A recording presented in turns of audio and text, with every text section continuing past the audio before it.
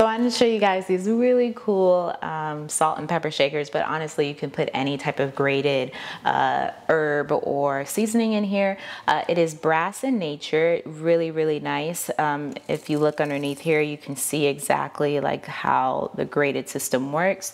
Um, you just turn it here on the top, so just turn it around. You see that there are black pepper flakes falling here.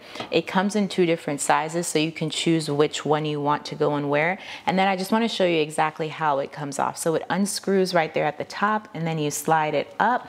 And so you can pour your salt or your pepper right in the top. You just put that right back on and then slide this over and you are good to go after you have screwed this on. So really nice feature. Uh, it kind of just elevates your salt and pepper shaker, which is really nice. I like that. And um, once you have these like really nice and shiny, they look really good. Let me just show you the salt here so you can see exactly kind of what you get, but both really good.